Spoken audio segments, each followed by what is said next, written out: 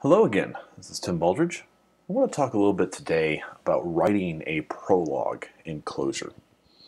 Um, this will probably be a little longer of a first lesson today, but I want to go over the unification part of uh, a Prolog engine. And we'll, we'll see here how Prolog differs a little bit from uh, something like the muKanren or miniKanren uh, stuff that we did in the past in the other logic tutorials. Um, and, and we'll really kind of see how it differs in the way that Prolog evaluates rules. So um, this is first of all not going to be a um, like a complete Prolog by any specification. Um, it's also not going to necessarily follow the same syntax. We're going to adapt the syntax to um, to Clojure. Um, but but what I, we're going to look at is we're going to look at how Prolog is basically a pattern matching engine. Uh, it basically works by taking two environments and two um, terms in either environment and matching them or not matching them. So that's what the unification code is that we're going to look at today. Is is that um, bit of it known as uh, know is basically the pattern matcher. So to start with, we're going to create. Um, we're going to get in the right namespace here first. Um, there we go. Um, and, and you see the namespace here is called Savik. I, I'm working on kind of an embedded Prolog in Clojure, and I thought I'd go through the code um, here. Uh, so this code should be available at some point on GitHub um, as well. Okay, so so first of all, we're gonna we're gonna define this thing called lvar, and and we won't use this in this tutorial, but it will allow us to create a logic variable. Um, so if we do lvar test, it returns a simple test one four six four. And each time we do that, we get an, another variable. All right. Now, now we have a predicate as well. So call it said is is this a logic variable, which just simply calls a symbol. So is one an lvar? No, it's not. Is a an lvar or no, a an lvar? Yes, it is. Okay.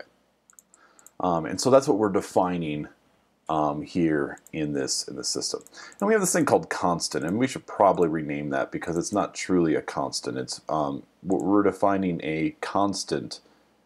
Um, oh, here we go. Yeah, no, this is this is fine. Uh, so the constant says if it's not an lvar and not a seq, and we'll look at how we handle seqs in a little bit, then it's a constant. So if we put that in here, we'll see um, constant. 42 is a constant keyword foo is a constant, but a list of foo and 42 is not a constant. And we'll look, we'll look at the reason for that in a little bit.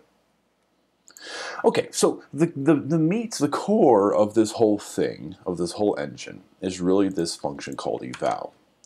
And um, let's look at, at how we use eval first of all. So eval really is, is a lot like you would expect eval to be in a list, uh, sorry, in a Lisp, um, but it's simply going to go through and replace all the logic variables in the thing we hand it with um, uh, things that are not logic variables. Okay. So if we eval 1 in an empty environment, we get 1. Simple enough. And then if we eval um, A in an empty environment, we get nothing. So we can't evaluate that because A is a logic variable and it's not bound to anything. You can think of this as, as in a Lisp or in something like Clojure's, you know, using the variable a with never having to find it in a let. It's an unbound variable. So we get nil back, which basically says, hey, evaluation failed, right? Now if we eval a with a bound to 42, then we get 42 back. So that's where this environment comes in. It says, okay, so um, here is a thing that we want to evaluate, and then over here is a um, uh, is our environment where we can go and look up variables. Okay. So we see that here in the first bit. We say um, if the source is a constant, then we return the source.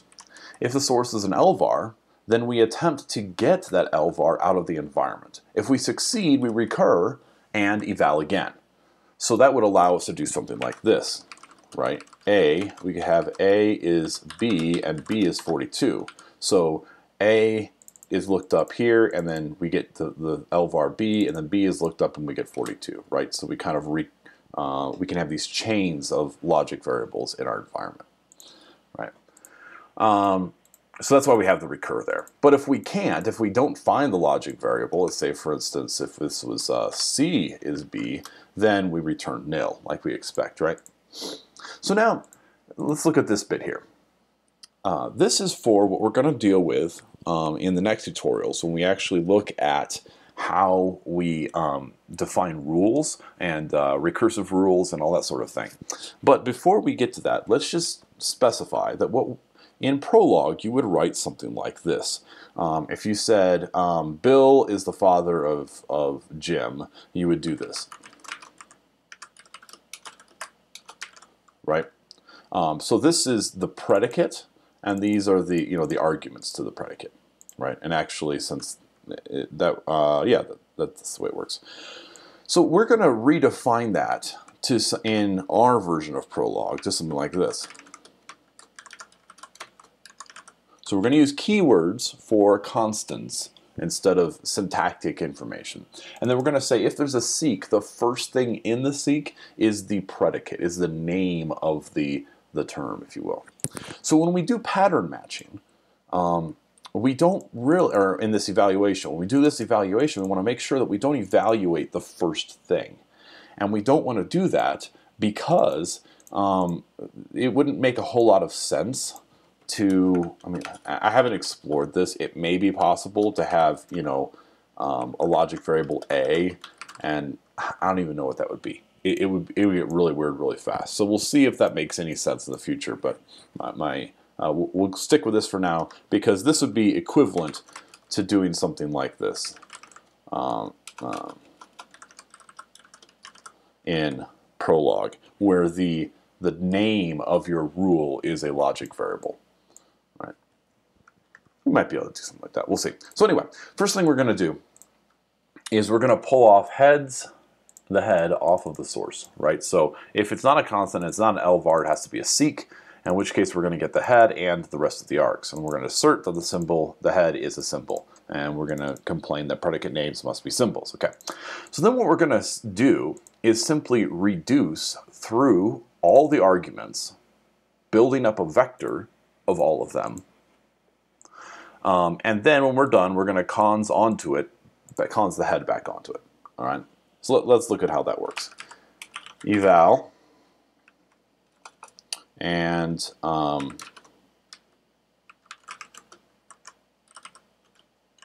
so the father, Bill, and Jim on an empty environment. Uh, okay, and that did not, uh, in fact, work the way we expected. Let's see here. Um, yeah, because I actually think that this is not. Um, I think we actually have a, a, a failure in our in our code here. Um, because we actually want to conj ac um,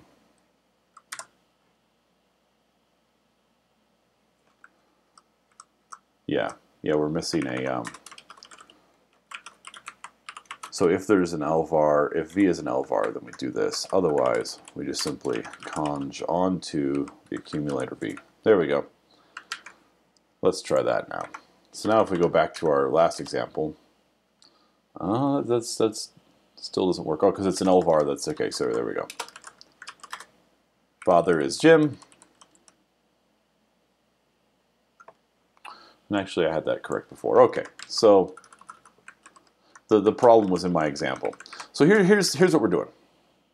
Let's try this again, and then we'll do this in there. Okay, it does work. So, so the problem was the, that I was doing this um, where Jim is a, um, a logic variable and Jim was not bound to anything. Now, if we had bound Jim to 42, we would see we'd get father and 42 here. So now if we, um, we have multiple arguments, and it evaluates as we expect. So, so all we're really doing here with a seq um, in this eval is we're ignoring the head, and then we're going through and finding all the logic variables in the arguments to this um, predicate, and uh, substituting any logic variables with um, uh, with the bound variables. Now we can actually nest these. Um, so we could say the father of Bill is the son of Jim, or, or let's say Ted. Okay, um, and if we do that, we don't need an environment anymore. Um, and that just evaluates to what we'd expect. So now if we, we, we can substitute TED with T and then say um, T is TED, and there we go, right?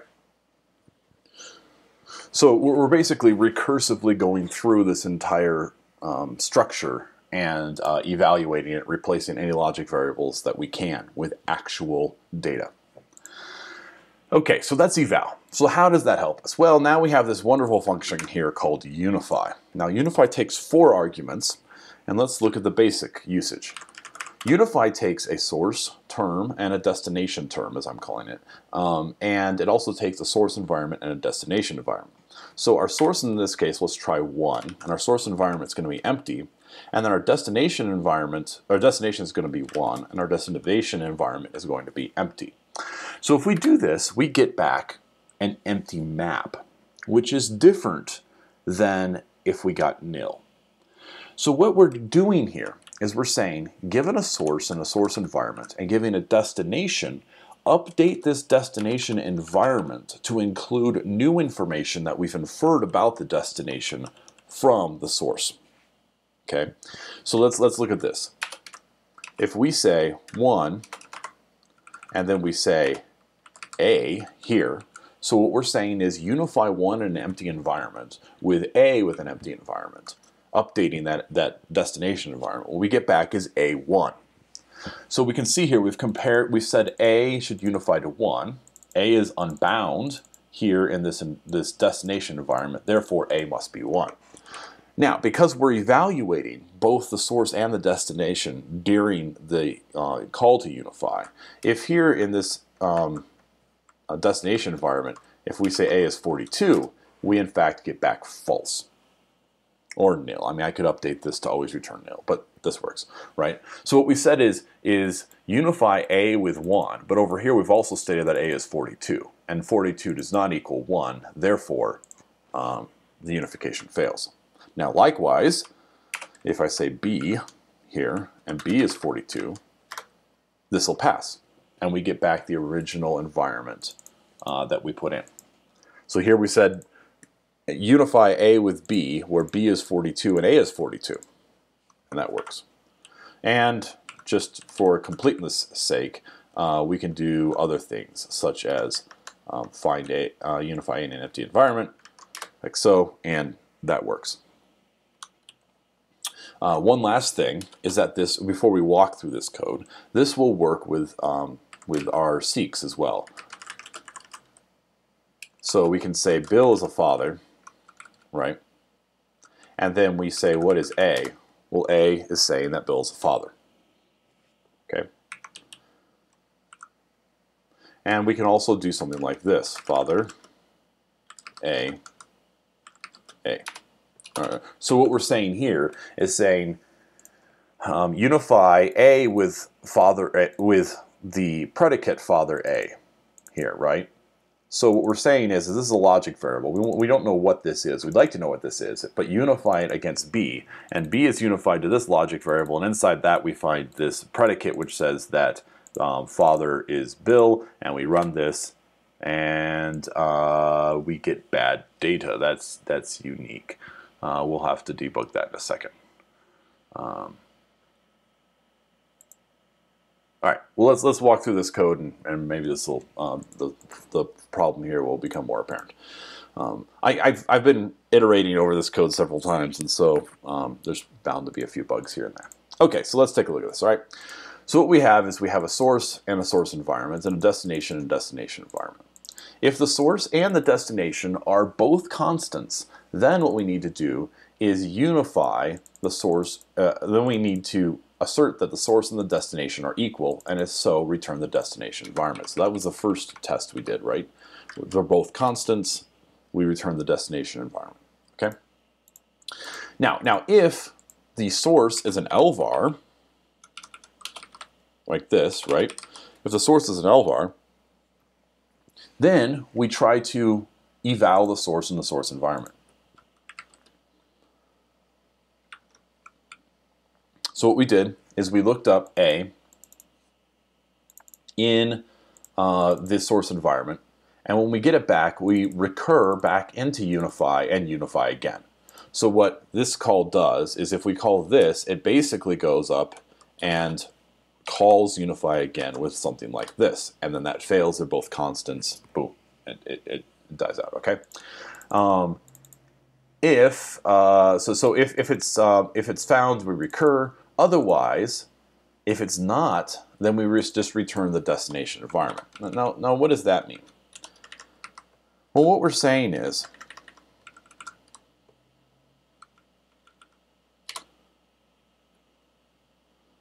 um, yeah, let's uh, quote A here. So what we're saying is is that the source environment, and this is this is why I call these source and um, and uh, destination. What we're really kind of doing is, if you look at this arrow, we're pulling information from the left side and applying it into the right side, uh, right two arguments. So, but we're not going the other way, and that's that's kind of critical. So what we're doing here is we're saying unify A with 1, and then find out more information about this second environment from that analysis. Well, there's nothing we can, more that we can figure out.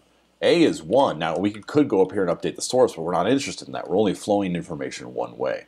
And so because of that, all we really can do is say, yeah, that works. Okay, A can be anything. You said A is now 1. Okay, that's fine. Now, we're not going to remember that you said A is 1 because we're flowing information one way, but there we go. Now, going the other way, which is this next part, if the destination is an LVAR, well, then we need to go back um, and look at this a different way. So if the destination is, an, is a logic variable, um, then what we're going to do is we're going to resolve it. And if it resolves, we're going to recur uh, we're going to resolve the destination. And if the destination is, um, uh, yes, so it, uh, we're going to resolve it. And if it if it resolves, we're going to recur. So so uh, you know what? Let, us do this. Let's enable this debug here because that'll that'll show us our unifications. So when, when we say unify here, um, let's see. Let's let's reorganize these args so that they're in the same order as. Um, and let's give ourselves a little arrow so we know what's going on. There we go. All right, so when we look at this then, we can see that one, uh, we're unifying one with hash map with A. And the result is A is now 1. Now, if here we said A, A is, uh, for instance, 42, we would see two unifications. So the unification is the left side is 1 and the right side is A is 42. So we pulled A out of this environment, which is here, and then we have a unification of 1 and 42, which fails with a false, and that's up here. All right? Okay, so now let's go to look at um, um, how our uh, predicates eval. So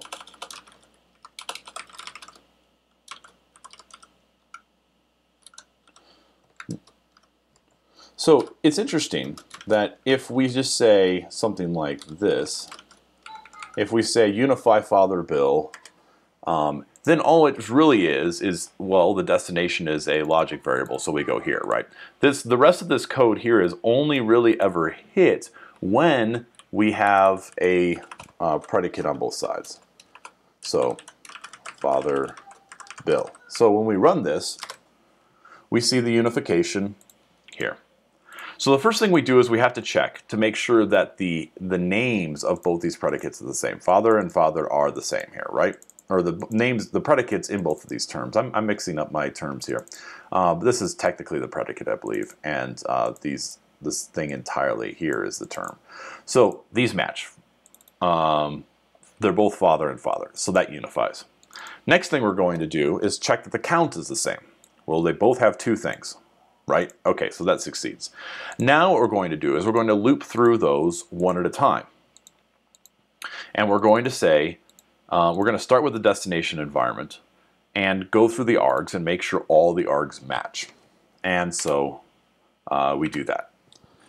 Uh, let's see here. And this really, this is what we had a problem with before. Okay, that does work. I must have uh, misquoted something uh, earlier. Oh, all right. So, so when we do, when we have something like this that says unify father Bill with father A, where A is a logic variable, then here's what happens. We unify just like the, these two terms. But then when we get into this type here, part of the code here, we start to step through every argument in both the source and the destination. And then we just run unify on both.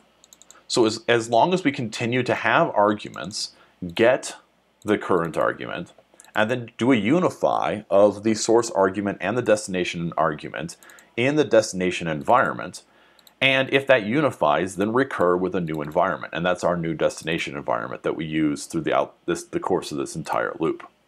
Right? So what this means is that we can even do stuff like this. Okay, so that didn't unify. But this would. And what we say here is we say unify this term with father AA. And because we're using the same logic variable, and this environment is used recursively throughout the, uh, the use of this loop. Each time we loop, we add more and more information, and we don't, don't forget the information we've built up so far. Because we continue to thread that environment through this loop, we can say A is Bill, right? So first of all here, we're saying Bill, unify Bill with A, boom. So then in the next unification, we say unify Bill with A, and we already know that over here A should be Bill. So then what we do is we once we eval, we say, does Bill unify with Bill? Yes, in fact it does. And so therefore the result is A and Bill. So we can already start to do some stuff like constraints to say that the first two arguments of these things must be the same. Um, and uh, we can we can do other stuff here as well. So we could say A is Bill, and so in that way, if we put Fred in both of these, we'll see that this never actually unifies. Because even though Fred is equal to Fred, we have bound A to be Bill, and therefore these two terms do not unify.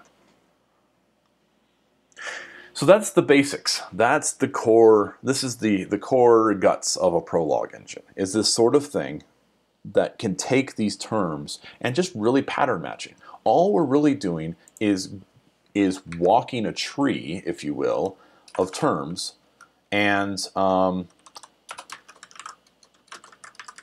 and gathering information.